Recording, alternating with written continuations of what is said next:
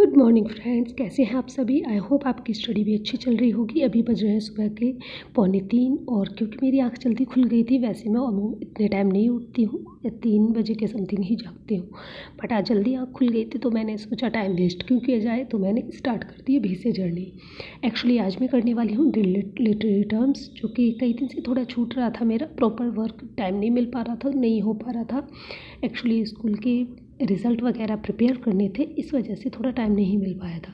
बाकी आज हम इसको कंप्लीट करते हैं ओके लिटरेरी टर्म्स के मोस्टली क्वेश्चंस हम सभी जानते हैं कि हम सब के लिए कितने इंपॉर्टेंट हैं। बहुत सारे कितने भी एग्ज़ाम्स होते हैं लिटरेचर का कोई भी एग्ज़ाम हो, इसके क्वेश्चन गाइज़ आते ही आते हैं। तो आज मैं लिटरेरी टर्म्स को कर रही हूँ ओके गाइज़ और अभी देखिए, बज चुके हैं सुबह के साढ़े तीन छः बज चुके हैं और अभी मैंने स्टार्ट कर दिया है अपना झाड़ू पोछा ओके जो कि हम सबका एक इम्पोर्टेंट वर्क होता है। आई होप कि आप सभी भी करते ही होंगे।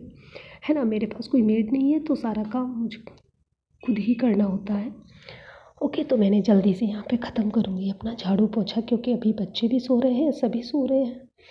तो मैं जितना टाइम हो सकता है ना, कि जितना टाइम मैं जल्दी से स्पेंड कर लूँगी, ये सारा काम ख़त्म करके तो फिर मैं बाकी का और काम जल्दी कर पाऊँगी, क्योंकि आज पूजा वगैरह भी है।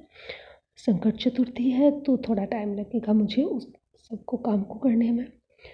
तो क्योंकि आप सभी जानते हैं सर्दियाँ हैं, बहुत जल्दी नहीं हो पाता जब ना काम भी थोड़ा धीरे धीरे होता है है ना? ये देखो, मेरी स्टडी टेबल कैसी बिखरी पड़ी है। मॉर्निंग में ऐसे ही छोड़ दिया था मैंने पढ़ के। और अब ये सारा काम करने के बाद एक्चुअली गाइज़ मैं जल्दी इसलिए फ्री होना चाहती हूँ ताकि जल्दी फ्री होकर थोड़ा टाइम मिल जाए ना। मॉर्निंग में भी बच्चों को भी हॉलीडे होमवर्क मिला है तो वो भी कंप्लीट करवाना है। और यहाँ मैं आ गई हूँ फटाफट से अपनी किचन में नहा धोने के बाद, और अब मैंने यहाँ पे आटे को भूनने लगी हूँ क्योंकि मुझे लड्डू बनाने हैं। बहुत ज़्यादा अच्छे से मुझे बनाना नहीं आता, थोड़ा बहुत सीखा है मैंने बट हाँ क्योंकि अब पूजा वगैरह करनी है तो थोड़े से बना देते हैं। तो देखिएगा आप सभी, बताइएगा कैसे बने हैं।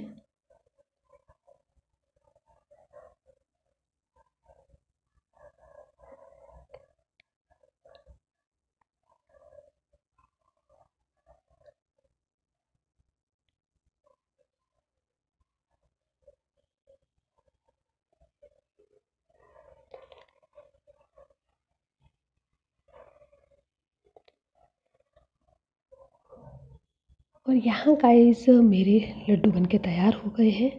ओके थोड़े से मैंने बाजरा के आटे के बनाए थे और थोड़े से बनाए थे तिल के लड्डू। बहुत ज़्यादा नहीं बनाए थे क्योंकि टाइम भी बहुत लगता है पर थोड़े पूजा के लिए थोड़े थोड़े बना लिए थे।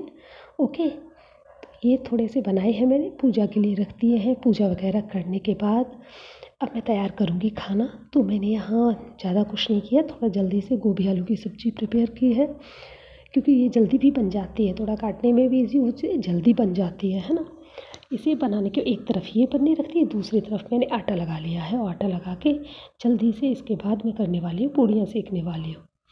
ओके तो पूड़ियाँ सेक के ये सारा काम करके सभी को खाना खिला के गाइस और अभी हम आ गए हैं छत पे। देखिए, आज मैंने कितने सारे कपड़े धुले हैं। देखिए, सारे मेरे नहीं हैं थोड़े से पड़ोसियों के भी हैं बट ये मोस्टली मेरे ही हैं।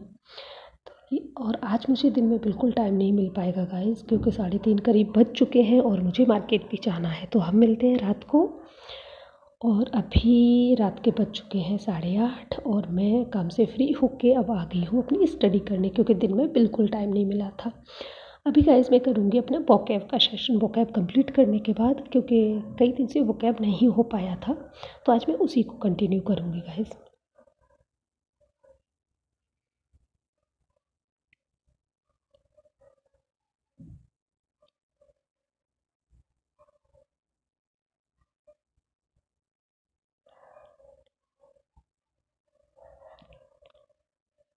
और गाइस मैंने अपना टाइम टेबल भी बना लिया है। टाइम टेबल जो टाइम टेबल के अकॉर्डिंग क्या पढ़ना है, क्या टॉपिक हमें पढ़ने हैं, इसके अकॉर्डिंग टाइम टेबल बना लिया है मैंने। जल्दी ही मैं आप लोगों के साथ शेयर करूँगी।